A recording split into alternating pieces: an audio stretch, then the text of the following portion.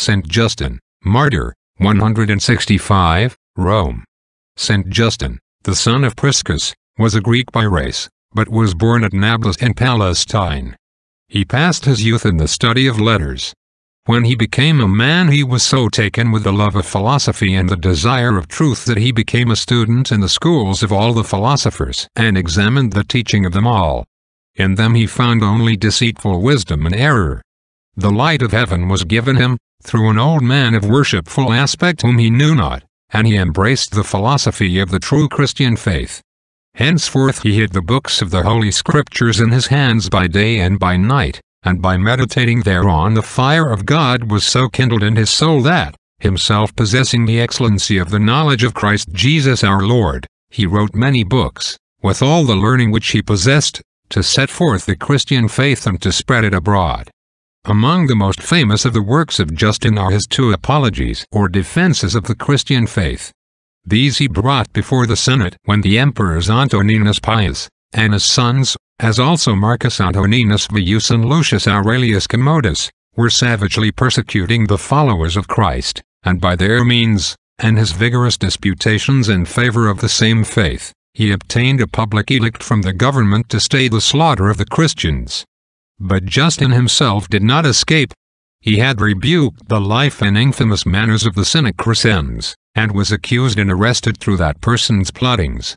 He was brought before Rusticus, the president of Rome, who asked him what were the doctrines of the Christians, whereto he answered, in the presence of many witnesses, with this good confession, the right doctrine which we Christian men do keep with godliness is this, that we should believe that there is one God, who is the maker and creator of all things, both those things which are seen and those things which bodily eyes do not see, and that we should confess the Lord Jesus Christ, the Son of God, who was foretold of old time by the prophets, and who will come to be the judge of all mankind.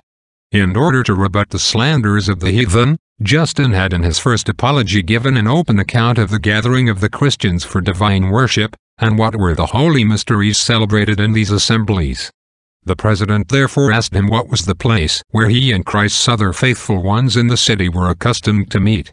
Justin, lest he should betray that which was holy unto God and his brethren, told only where was his own lodging, where he was used to abide and to teach his disciples, hard by the famous church of the shepherd, in the house of Pudens. The president then gave him the choice whether to sacrifice to the gods or to be hided with scourges over his whole body. The unconquered champion of the faith answered that he had always desired to suffer in the name of the Lord Jesus Christ, from whom he looked to receive a mighty reward in heaven. The president thereupon sentenced him to death, and then this excellent philosopher, giving praise to God, was first beaten and afterwards shed his blood for Christ's sake, and so received the crown of a glorious martyrdom. Some of the faithful secretly stole away his body, and buried it in a fitting place.